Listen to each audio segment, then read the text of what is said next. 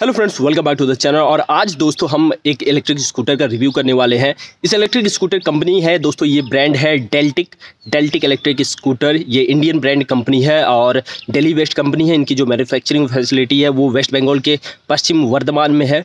और ये electric scooter बनाते हैं। दोस्तों लो स्पीड इलेक्ट्रिक स्कूटर इनकी सभी मॉडल्स और उसमें से लो स्पीड इलेक्ट्रिक स्कूटर मतलब इसकी जो टॉप स्पीड है वो 25 किलोमीटर पर आवर तक ही रहेगी।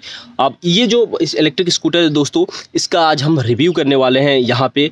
आ, इसमें ट्वेंटी किलोमीटर पर आवर की स्पीड है टॉप तो इसका मतलब इसमें कोई भी आपको खरीदने के बाद लाइसेंस की भी ज़रूरत नहीं है और ना ही आपको किसी तरह के रजिस्ट्रेशन कराने की ज़रूरत है। दोस्तों एक इंडियन ब्रांड है और इनकी जो मैन्युफैक्चरिंग फैसिलिटी है वेस्ट बंगाल के पश्चिम वर्धमान में है।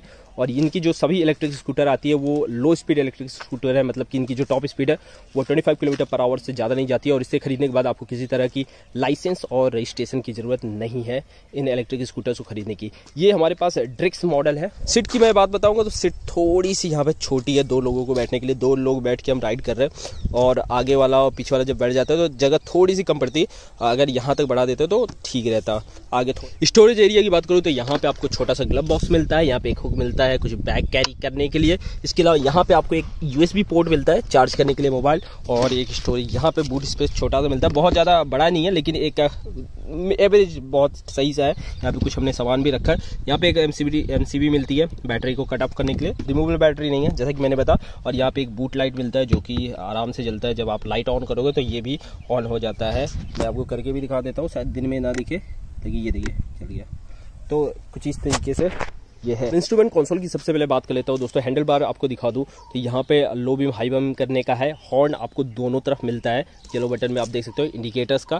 ये रिवर्स मोड भी आपको मिलता है। तो बाइक जो स्कूटर है, वो रिवर्स में भी चली जाती है। आप रिवर्स आपको बटन प्रेस करके टोटल देना है तो। ये स्टार्ट बटन है और यहाँ पर आपको इंस्ट्रूमेंट कॉन्सोल ऑन करके दिखा देता हूँ। की स्लॉट आपको एक बार दिखा देता हूँ। ये कुछ इस तरह का आपको की स्लॉट मिलता है। तो ये मैंने ऑन कर दिया। और यहाँ पे आपको क्या क्या मिलता है? बैटरी परसेंटेज इसके साथ साथ इंडिकेटर्स सभी मिलते हैं लाइट्स वगैरह के। इसके साथ साथ आपको ट्रिप मीटर भी मिलता है ओडोमीटर भी मिलता है। और यहाँ पे पार्किंग का यहाँ पे साइन भी मिलता है। रिवर्स मोड आएगा तो आर यहाँ पे लिख के आ जाएगा। ये सारी चीज़ें और ई e का यहाँ भी साइन आता है। कोई अगर माल फ़ंक्शन हुआ तो लाइट्स वगैरह का भी साइन यहाँ पे आ जाता है। तो इतनी फ़ंक्शन आपको इंस्ट्रूमेंट कॉन्सोल में यहाँ पे देखने को मिल जाते हैं। दोनों तरफ़ ब्रेक्स है और ब्रेक्स में आपको ड्रम ब्रेक का सपोर्ट मिलता है। टेन इंचेस के व्हील दोनों तरफ़ लगे हुए हैं और BLDC hub motor two fifty का यहाँ पे लगा हुआ है इस इलेक्ट्रिक स्कूटर में। जो सस्पेंशन है, पीछे की तरफ़ वो hydraulic shock absorber spring shock absorber मिलता है और आगे की तरफ़ आपको टेलीस्कोपिक सस्पेंशन मिलता है, जिसमें फोर्क गेटर्स यहाँ पे लगे हुए हैं। जो स्कीटर का दोस्तों ओवरऑल वेट है कर्व वेट है वो है आपका जस्ट 57 केजी का ये इसका पूरा वेट है। और हाइट सीट हाइट की बात करें तो वो भी काफ़ी लो है। लो जो राइडर है जो लो, लो हाइट के हैं वो भी बहुत ही आराम से इस इलेक्ट्रिक स्कूटर को चला सकते हैं। ग्राउंड क्लियरेंस आपको 180 एट्टी mm का मिलता है। तो कहीं भी आपको बम्पर्स वगैरह पे बम्प्स वगैरह पे कहीं भी दिक्कत नहीं होती इस इलेक्ट्रिक स्कूटर को चलाने में।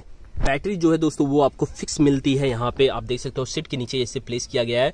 और लेकिन यहाँ पे जो फिक्स बैटरी है, लेकिन जो चार्जर आपको मिलता है, वो पोर्टेबल मिलता है। आप आराम से लेके चार्ज कर सकते हो। पोर्टेबल चार्जर से सेंट्रल स्टैंड भी मिलता है और साइड स्टैंड भी यहाँ पे लगा हुआ है इस इलेक्ट्रिक स्कूटर में। इस तरह का आपको की मिलता है। रिमोट की एक मिलता है और एक फ़िज़िकल की मिलता है। दो रिमोट की दो फ़िज़िकल की इस स्कूटर के साथ में मिलते हैं। और यहाँ पे अगर फ़िज़िकल की का मैंने दिखाया है, आप रिमोट की का बात करें तो यहाँ पे lock unlock find my vehicle और इग्निशन ऑन करने का भी यहाँ पे फीचर मिलता है। तो लॉक कर दोगे आप, और आपको अगर कोई इलेक्ट्रिक स्कूटर टच किया तो यहाँ पे ये बजने लगता है, और फिर अनलॉक कर दोगे, कुछ नहीं होगा। और फाइंड माई व्हीकल का मतलब कहीं आपने पार्क किया तो इससे बस बटन को प्रेस करोगे तो पता चल जाएगा कि व्हीकल कहाँ पे ये बचता रहेगा।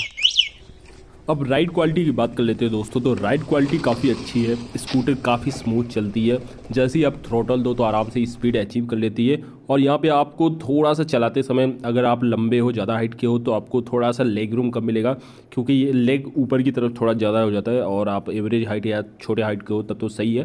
थोड़े लंबे हाइट के हो तो थोड़ा सा आपको प्रॉब्लम होगा। वैसे चलाने में काफ़ी अच्छी है और ट्वेंटी की स्पीड बहुत ही आराम से अचीव कर लेती है और आप अच्छे खासे यहाँ पर डिस्टेंस भी ट्रैवल कर लेते हो।